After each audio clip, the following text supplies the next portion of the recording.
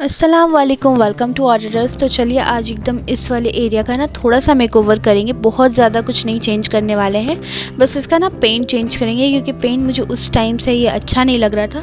जो मुझे चाहिए था ना उस कलर का नहीं हो पाया था। तो सबसे पहले इस साइड वाले को पेंट करेंगे हम ठीक है? जिसमें डिज़ाइन बना हुआ फिर इन दोनों को ही पेंट करना है लेकिन पहले इसको करेंगे। तो इसको पेंट करने के लिए ना एक बे, बेस कोट हमें देना होगा क्योंकि ब्लैक है ना तो इस पर कोई भी कलर करेंगे तो दिखेगा नहीं। तो एक मेरे पास ना बिल्कुल पुराना सा बहुत दिन से एक पेंट पड़ा हुआ है वाइट कलर का, ठीक है? तो इसको मैं कर लूँगी, ये वॉल ही पेंट है। आप कोई सा भी पेंट ले सकते हैं तो चलिए पहले इसको ये ब्लैक वाले एरिया पे पूरा कम्प्लीटली वाइट करेंगे।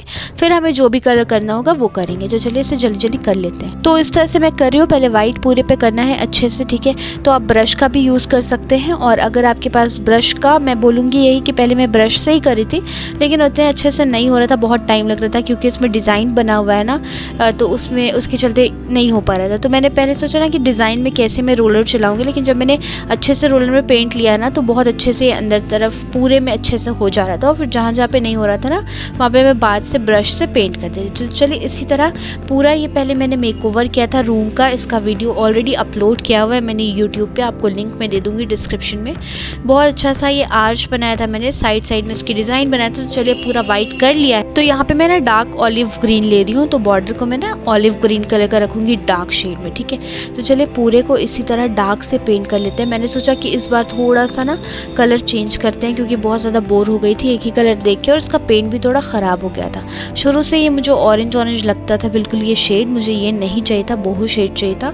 तो कुछ सही नहीं बन पाया था ये कलर तो इसलिए मैंने इसको छोड़ दिया। अब चलिए सारी चीज़ को मैं यहाँ से हटा दूँगी, और फिर मैंने ना इसको तो पूरा पेंट कर लिया डार्क से, और यहाँ पर मैंने दो शेड लगा के देख लिए हैं वॉल पर ही, कि मुझे कौन सा चाहिए। तो मैं ना यहाँ से ये वाला, ये जो ग्रीन है ना लाइट ग्रीन बिल्कुल ये वाला शेड लूँगी।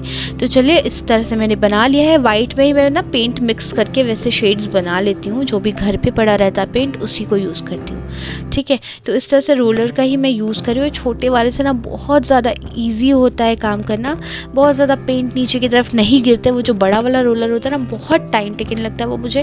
क्योंकि बाद में बहुत सफ़ाई करनी पड़ जाती है। नीचे पूरा पेंट गिरता है। तो इसलिए मैं छोटा ही वाला यूज़ कर लेती हूँ। ऐसे मेरे पास बड़ा वाला भी है, लेकिन उसका यूज़ में नहीं करती जल्दी। तो इस तरह से मैंने पूरा कंप्लीट कर दिया ये आर्च तो चलिए अब इसमें डेकोरेशन कर देते हैं।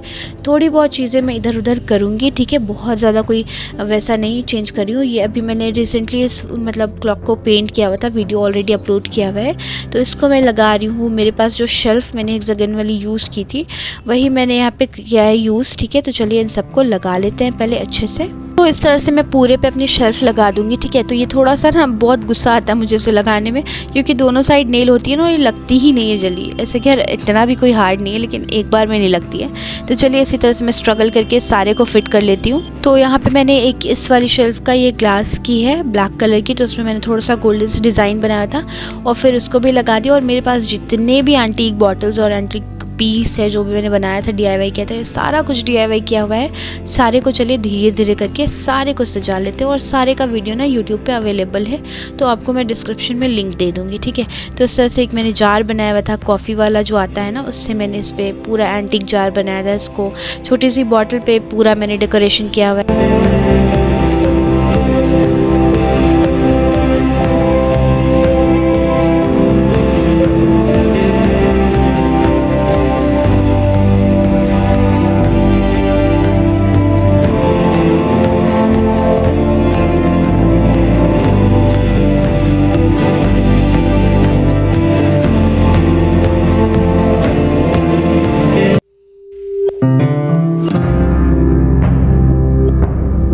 तो इस तरह से मेरा ये एरिया पूरा कंप्लीट हो गया है, ठीक है?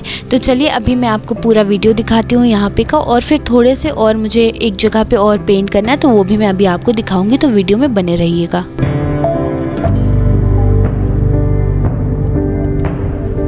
तो इसी के जस्ट साइड इसी रूम में यहाँ पे मैंने एक और आर्च पेंट किया हुआ था। इसी कलर का ये भी गंदा हो गया है।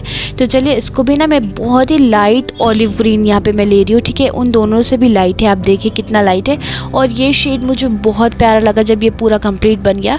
तो इससे पूरे को चलिए पेंट कर लेते तो आपको यहाँ पर मैं दिखाती हूँ कि आपको कैसे पेंट करना है। जो स्विच बोर्ड है ना, उसके मैं किनारे किनारे बिल्कुल ब्रश से कर रही हूँ। एक मैंने वो मतलब आपको मार्क कर लेना है। उसके बाद आपको ना रोलर का यूज़ करना है। तो इस तरह से रोलर का यूज़ करने से ना बहुत ईजी हो जाता है। किसी छोटी जगह पे अगर आपको पेंट करना है ना तो बहुत ईजिली आप पेंट कर सकते हैं। तो इस तरह से चलिए पूरे को पेंट कर लेते हैं और अच्छा हाँ ये आर्च आपको कैसे बनाना है, वो वीडियो ऑलरेडी मैंने अपलोड किया हुआ है कि कैसे आपको मार्क करना है और आर्च बनाना है। और कभी भी ना साइड में आप रोलर का यूज़ नहीं करिए।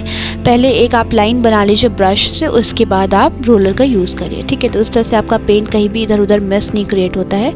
बहुत अच्छे से एकदम स्मूथली आप पेंट कर सकते हैं। ठीक है तो चलिए इस तरह से नीचे भी मैं पेंट कर लेती हूँ पूरे को और अभी मैं आपको ऊपर भी करके दिखाऊँगी। ऊपर भी ना इस तरह से आपको बीच बीच में रोलर से करना है और साइड में मैं आपको दिखाती हूँ आपको ब्रश लेना है और उसी से पेंट करना है। तो कभी भी आप वॉल पर भी पेंट कर रहे हो ना साइड वाला पेंट आ, मतलब आपको हमेशा ब्रश से ही कर लेना है।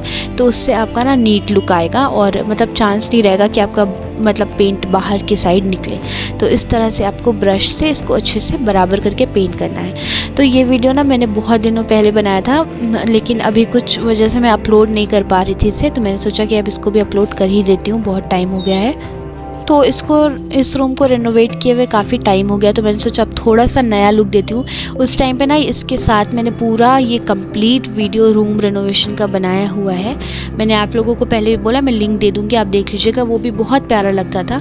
तो बात करते करते इधर का कंप्लीट हो गया तो चलिए अब इसको भी मैं कंप्लीट कर लेती हूँ सेम इस वाली वॉल को भी मैंने कंप्लीट कर दिया इसी तरह से।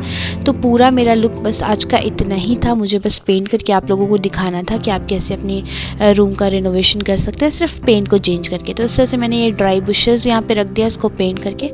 तो आप